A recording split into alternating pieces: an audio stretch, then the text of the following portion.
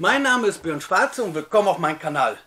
Ähm, kurz vorab, dies ist eine äh, Dauerwerbesendung und alles, was ich gleich erzähle, ist alles meine eigene Meinung. Jeder kann eine andere Meinung dazu haben.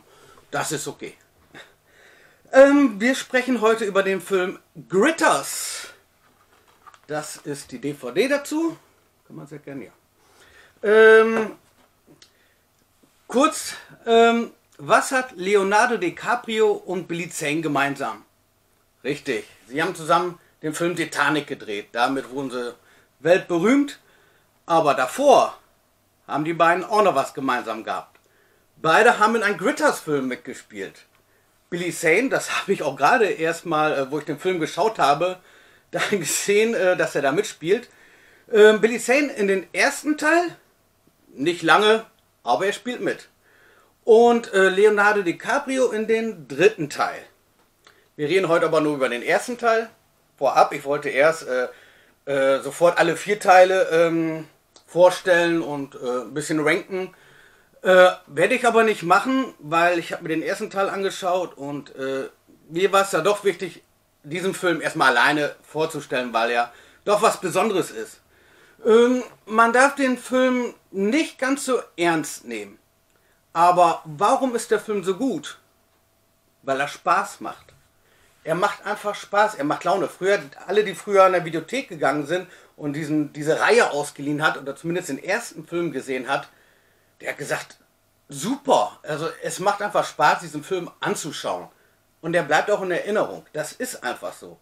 Man kann ihn sich auch den zweiten Mal angucken, man kann den dritten Mal oder in fünf Jahren nochmal gucken. Das ist ein Film, den kann man immer wieder sehen. Genauso ist das. Der Film äh, ist von 1986 und der die Regie gemacht hat, steht da hier hinten drauf, hieß. Da muss ich mal eben so gucken. Stephen Herrick. Und das war sein erster Film. Und jetzt sieht man auch, warum dieser Film eigentlich sehr gelungen ist. Er hat noch Filme gedreht, da muss ich eben ein Zettelchen dazu holen. Filme gedreht wie äh, äh, Bill, das, der nächste Film war dann Bill und Tess verrückte Reise durch die Zeit. Auch so ein abgedrehter Film, der auch sehr erfolgreich war.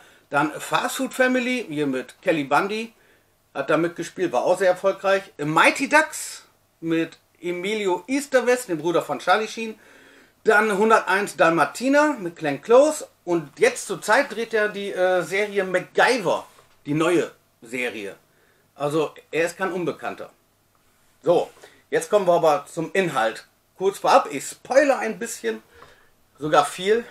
Also, ich schätze mal, jeder hat den Film auch schon gesehen, der das Video hier guckt. Ähm, ähm, der Junge, der hier mitspielt, der heißt Scott Grimes. Der ist jetzt halt auch sehr bekannt. Er spielt in der Serie The Orville mit. Jo, also die Karriere ging auch weiter. Die anderen Hauptdarsteller äh, sind mehr oder weniger untergegangen, jetzt außer Billy Zane. Äh, genau. So, jetzt fangen wir an äh, zu den Inhalt. Da ist irgendwie auch alles drin und ähm, es geht damit los. Da sind Außerirdische. Es geht wirklich los mit Außerirdischen. Ähm, das ist so ein Gefangenentransport im Weltall. Und da sind gefährliche Monster äh, entwischt mit einem Raumschiff. Das sind die Gritters. Und die wurden auch sofort dann dargestellt, die sind böse, die vernichten alles.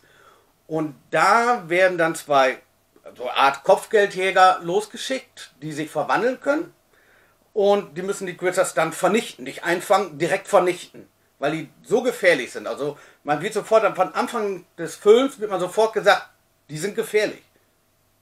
Die gefährlichsten Monster im Weltall, so ungefähr danach geht es ein bisschen ruhiger los. Danach werden die Charaktere auf der Erde äh, vorgestellt.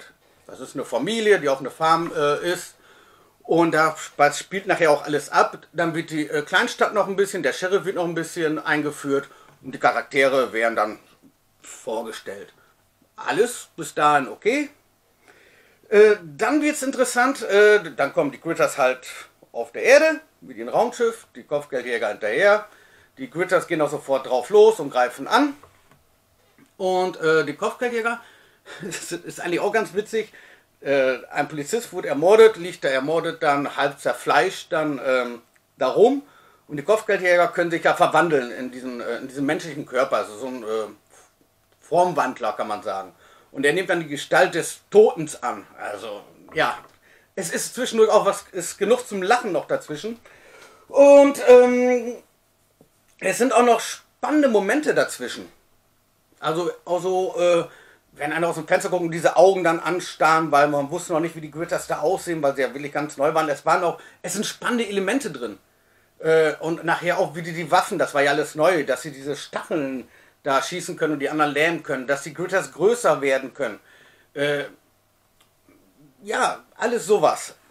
Und ähm, diese Kopfgeldjäger, im Schluck trinken, haben äh, so eine Art, ja, die sind so Art wie ein Terminator. Terminator 1 und 2. Die gehen dann erst in eine Kirche rein, dann auf eine Bowlingbahn und kommen rein. Wo sind die Gritters? Oder wir wollen die Gritters. Und äh, ja, was wollt ihr? Das ist wie der Terminator. Und dann fangen die an zu schießen, nehmen die Leute hoch. Wir, wo sind die Gritters? Das ist wirklich wie ein Terminator. Also es werden auch viele Elemente äh, gemischt von anderen Filmen.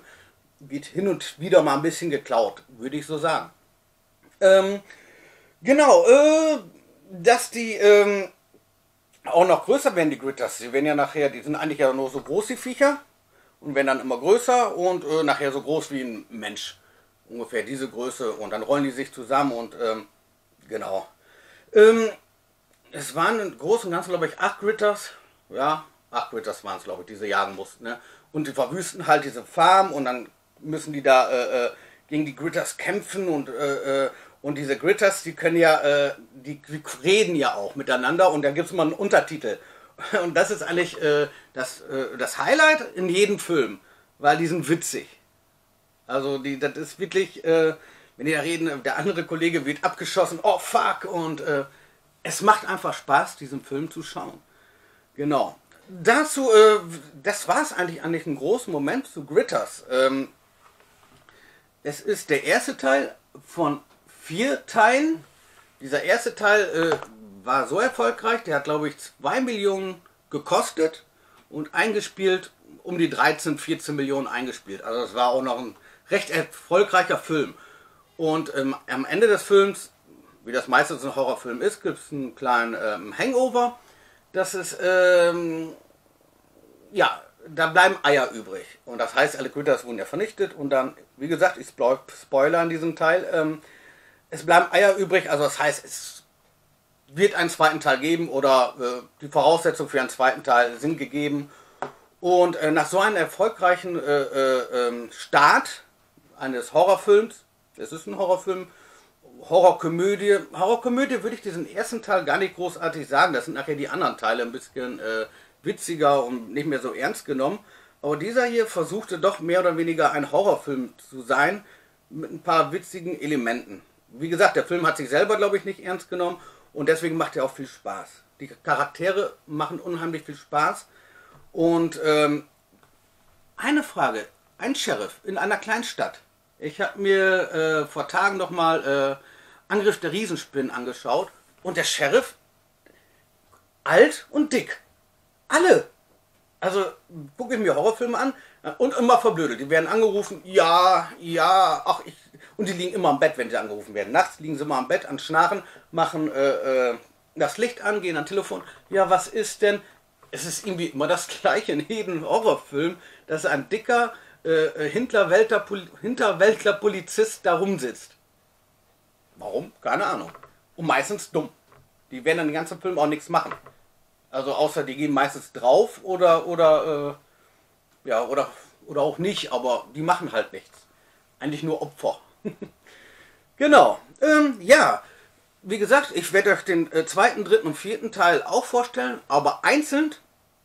Und bei dem vierten Teil später werde ich den vorstellen, werde ich äh, am Ende die Filme dann ähm, einmal äh, äh kritisieren. Also einmal Platz 1, Platz 2, Platz 3, Platz 4. Und genau so machen wir das. Genau. Äh, ja, das war es eigentlich zu dem Film Gritters. Ähm, auf jeden Fall lohnt sich der Film zu schauen. Äh, den es bei Amazon Prime zu schauen. Zum, zum Ausleihen, leider für 3,99. Bis jetzt aktuell. Ich weiß nicht, wann, der, wenn, wann dieses Video geschaut wird. Kann auch sein, dass der gerade nicht verfügbar ist oder auch bei Prime gerade umsonst ist. Äh, ansonsten kauft euch die DVD oder die Blu-ray. Genau. So, Das war's und ich sag mal dann bis zum nächsten Mal. Wir sehen uns. Schönen Abend noch oder einen schönen Tag. Tschüss.